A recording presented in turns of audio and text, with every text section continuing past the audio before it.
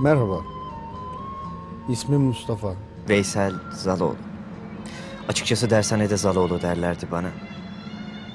Liseyi bitirir bitirmez dershaneye yazılmıştım.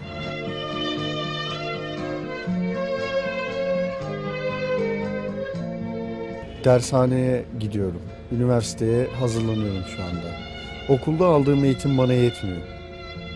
Çünkü geri zekalıyım.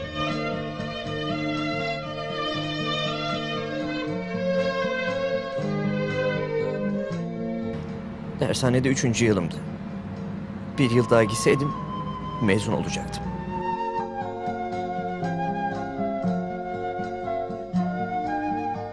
Cumartesi günü saat 5 haberlerinde dershanelerin kepek indirdiğini duyduk.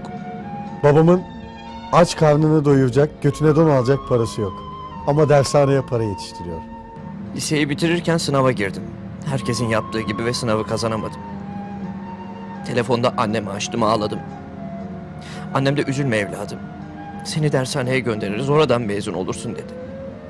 Dershanede bir kıza aşık olmuştum. Sonra haberlerde dershanenin kapatılacağını öğrendim. Neden kapatıyorsunuz? Neden yani? Neden? Batıyor mu dershane size? O gün dershanede edebiyat öğretmenime çiçek almaya gitmiştim. Çiçek elimde kaldı.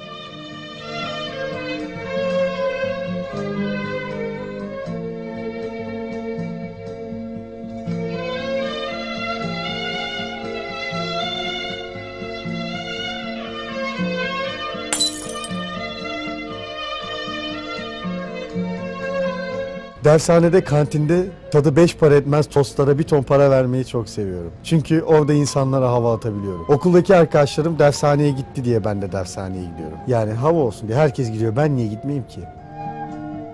Dershaneler kapatılmasın. Belki ben çok geri zekalıyım. Dershaneler kapatılırsa kız tavlayamayız. Eğitim alamayız.